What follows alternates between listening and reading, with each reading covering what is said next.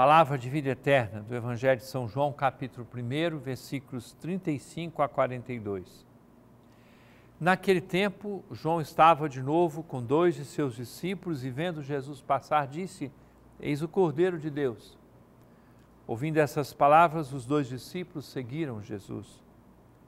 Voltando-se para eles e vendo que o estavam seguindo, Jesus perguntou: O que estáis procurando?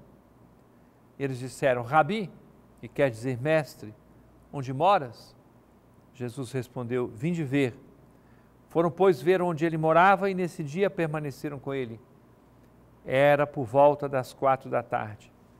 André, irmão de Simão Pedro, era um dos dois que ouviram as palavras de João e seguiram Jesus. Ele foi encontrar primeiro seu irmão Simão e lhe disse: Encontramos o Messias, que quer dizer Cristo. Então André conduziu Simão a Jesus. Jesus olhou bem para ele e disse: Tu és Simão, filho de João, tu serás chamado Cefas, que quer dizer pedra. Que palavra linda, vocação. Chamado de Deus.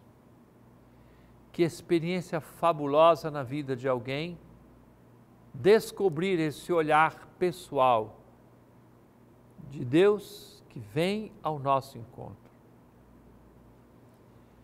Que beleza se todas as famílias se abrissem para anunciar aos filhos e filhas que eles têm uma vocação, têm um chamado de Deus.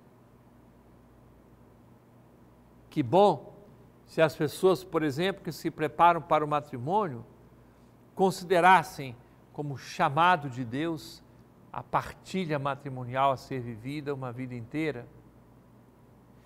Que bom se as nossas famílias começassem a falar do sacerdócio, da vida religiosa, da vida consagrada aos seus filhos. Que beleza quando eu vejo pessoas que fazem como João Batista, apontam onde está Jesus. E especialmente os jovens o descobrem e descobrindo-o, descobrem também o chamado a segui-lo e a ficar com ele e depois se transformarem em seus discípulos, em seus apóstolos. É palavra de vida eterna.